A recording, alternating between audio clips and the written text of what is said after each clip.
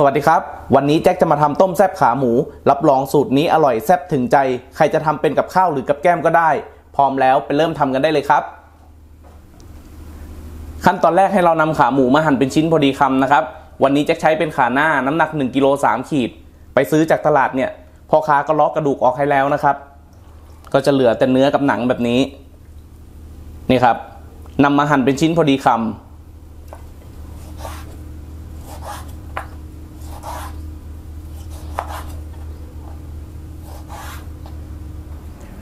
พอหั่นหมูเสร็จก็ให้เราตั้งกระทะคั่วพริกครับ วันนี้จะใช้เป็นพริกแห้งเม็ดเล็กแบบนี้นะครับ1กำมือประมาณ 50 เม็ด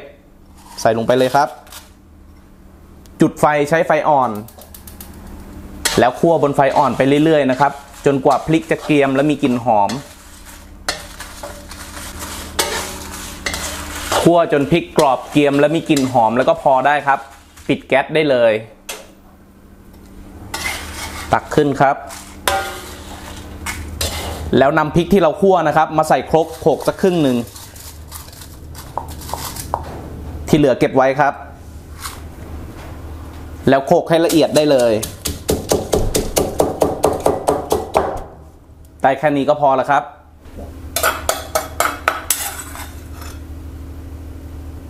เอาละครับ ทีนี้ให้เรานำน้ำสามลิตรใส่หม้อขึ้นตั้งไฟ จุดไฟใช้ไฟแรง ตอนนี้น้ำเดือดขึ้นมาแล้วนะครับ ให้เราใส่เกลือป่นลงไป 1 ช้อนชา หอมแดงทุบ 15 หัว กระเทียมทุบ 10 กลีบ แล้วใส่ขาหมูที่เราหั่นไว้ลงไป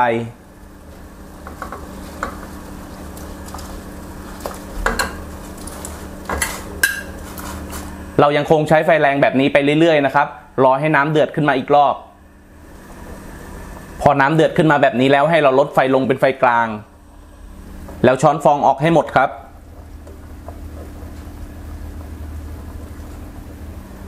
พอช้อนฟองออกเสร็จแล้วก็ปิดฝา ต้มในไฟกลางแบบนี้เป็นเวลาหนึ่งชั่วโมง ตอนนี้แจ็คก็ต้มครบหนึ่งชั่วโมงแล้วนะครับ เปิดฝาได้เลย แล้วก็ใส่ตะไคร้หั่นท่อนลงไปสองต้นครับ ขาหั่นแว่นสิบห้าแว่น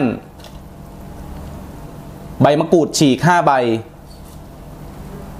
แล้วก็คนคลุกเคล้าให้เข้ากันครับหืมหอมมากอะ่ะกลิ่นหอมหอม พอคนคลุกเคล้าเข้ากันดีแล้ว ให้เราต้มต่ออีก 10 นาที เพื่อให้ข่าตะไคร้ใบมะกรูดเนี่ยส่งกลิ่นหอมครับ พอผ่านไป 10 นาทีก็ให้เราใส่มะเขือเทศหั่นชิ้นลงไปนะครับ 2 ลูก ตามด้วยพริกแห้งคั่วที่เราโขกไว้ามด้วยน้ำปลาแท้ 9 ช้อนโต๊ะ ใส่ลงไปเลย แล้วก็คนคลุกเคล้าครับหืมกลิ่น หอมมาก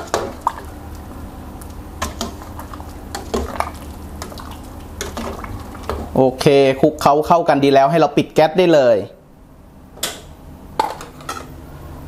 พอปิดแก๊สแล้วใส่ต้นหอมหั่นท่อนลงไปสองต้น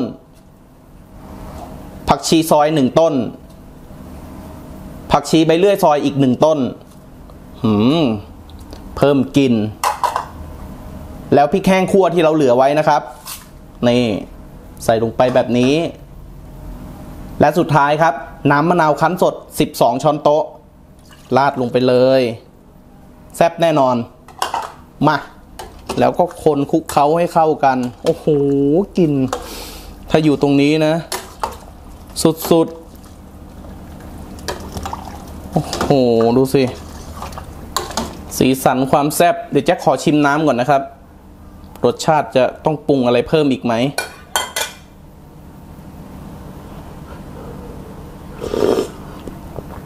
อ้สุดสุดดีงามไม่ต้องปรุงเพิ่ม นี่แค่ชิมนะเนี่ยขออีกช้อนหนึ่งอร่อย อืม ดีงามมากเลยครับ รสชาตินี้แซ่บมาก ไป ตักใส่ชาม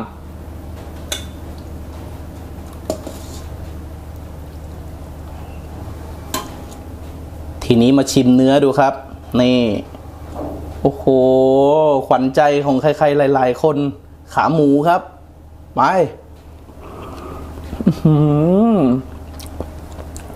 นุ่ม ละลาย อร่อย โดนใจมากๆ อร่อยแซ่บยกหม้อมากๆเลยนะครับ ทางบ้านลองไปทำตามกันเลยสูตรนี้ อร่อยมาก